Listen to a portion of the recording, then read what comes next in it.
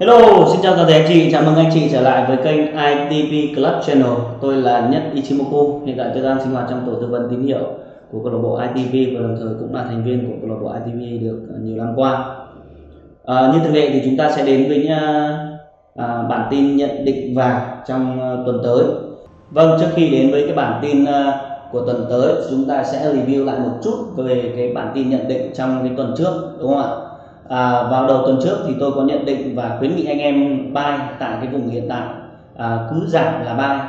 À, đó. Và à, hiện tại thì nó đã có cái sự à, hỗ trợ đúng theo cái sự phân tích của chúng ta ở đầu tuần trước là bật tăng tại cái vùng này. Một cái vị thế buy được à, ưu tiên à, hàng đầu đối với cái vị thế buy tại cái vùng hỗ trợ của khung dài hạn cũng như trung hạn ở đây cơ bản như vậy thì chúng ta có thể thấy bản tin nhận định của tuần trước của chúng ta bán khá sát với cái diễn biến của tuần vừa rồi.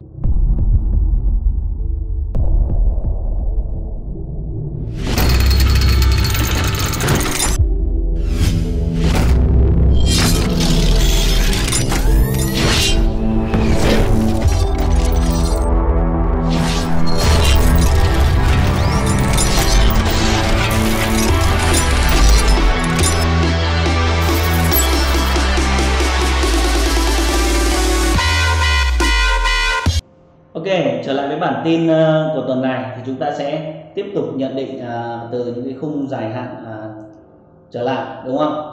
Thì trong nhiều tháng qua thì tôi có nhận định là nó sẽ trở về đến cái vùng Kijun về và à, vùng Tenkan này và nó bật tăng tại cái vùng này nó sẽ có một cái nhịp hồi đúng không?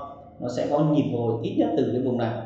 Đó thì như vậy thì trong những tháng vừa qua thì đối với cái nhận định dài hạn của chúng ta là khá sát với cái tình hình uh, diễn biến của vàng trong cái thời gian vừa qua. Và hiện tại nó đang trước mắt về đến một cái vùng hỗ trợ này và đang có một cái cú hồi trong khung dài hạn.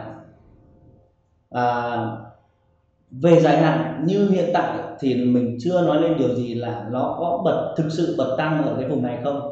Thì khi mà nó trở về một cái vùng à, cân bằng như thế này thì nó có khả năng là có cú hồi thôi. Còn đâu nó chưa xác nhận là khả năng bật tăng ở đây nhé anh chị em nhớ nhớ nhé thì uh, dựa vào những cái uh, khả năng như này thì chúng ta có thể thấy là uh, khung dài hạn thì vàng vẫn có khả năng giảm tiếp được đó.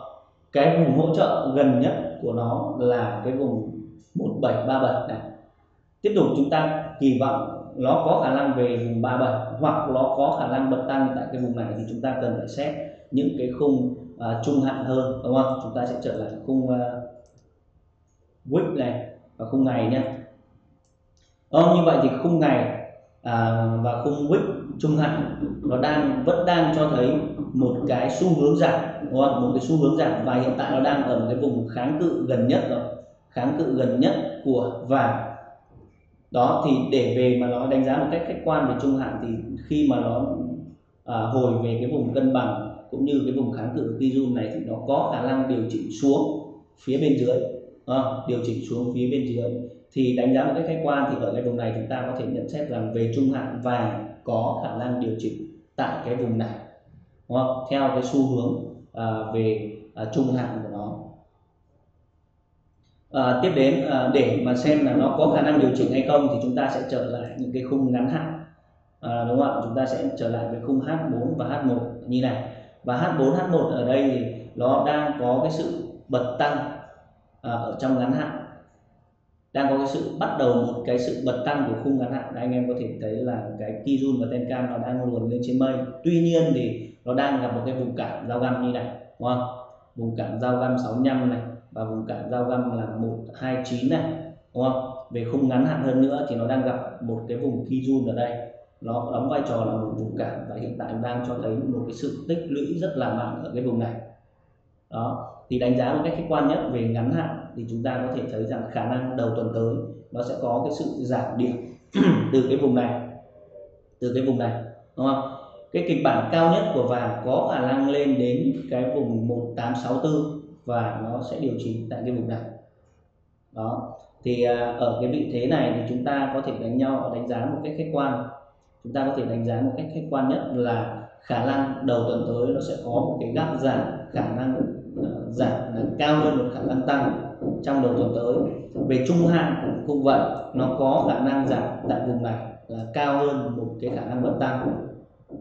Đó sâu chuỗi lại về à, cả ngắn hạn trung hạn và dài hạn thì chúng ta có thể thấy rằng ở một cái vị thế hiện tại và về ngắn hạn trung hạn à, nó vẫn đang có một cái khả năng giảm điểm. Xác nhận một cái khả năng có khả năng giảm điểm là cao hơn là bật tăng tại cái vùng này cả về dài hạn thì chúng ta có thể thấy là kịch bản nó có thể trở về đến cái vùng 1823 đâu 1737 1737 tuy nhiên thì chúng ta trong ngắn hạn chúng ta cần quan sát thêm ở đầu tuần tới liệu nó có vượt được những cái vùng cản trong ngắn hạn không. Nếu vượt được những cái vùng cản trong ngắn hạn thì về trung hạn nó có khả năng đi lên vùng cao hơn. Cao nhất là nó về cái vùng 1876 1876 nhé nhưng mà chúng ta sẽ đánh giá một cách khách quan nhất là khi mà nó uh, đang dao động ở cái vùng này thì khả năng đầu tuần tới cũng như là trong tuần tới nó sẽ là một cái kịch bản giảm cao hơn một cái vị thế tăng. Đúng không? Trong tuần trước thì chúng ta đã ăn chọn một cái uh, nhịp hồi rồi. Trong tuần trước room uh, tín hiệu vip ra rất nhiều lệnh buy từ vùng đáy này lên trên này từ trên này lên trên này và từ bên trên này nữa lại lên trên bên này lên trên này nữa. Và à, chúng ta đã ăn trong tuần vừa qua đã ăn chọn một cái trend bật tăng rồi. Và hiện tại nó đang xác nhận một cái vùng cản rồi cho nên là chúng ta à, hạn chế những cái vị thế buy tại cái vùng này mà chúng ta chuyển sang một cái vị thế sell à, vâng như vậy thì chúng ta vừa kết thúc cái bản tin à, nhận định cái diễn biến vàng trong cái tuần tới.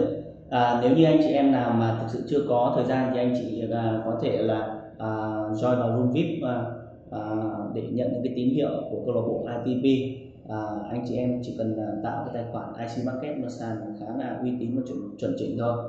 Tiếp đến thì nếu như anh chị em nào không có thời gian giao dịch ờ, nữa thì anh em có thể là sử dụng cái dịch vụ copy trade của câu lạc bộ ITP cũng như là à, giao dịch à, ủy thác robot à, ủy thác cái giao dịch cho robot à, giao dịch forex của câu lạc bộ ITP mọi thông tin và chi tiết liên hệ mình sẽ để ở dưới cái phần mô tả thì anh em có thể là à, kéo xuống dưới phần mô tả để quan sát cũng như là mở tài khoản à, sàn IC Bucket.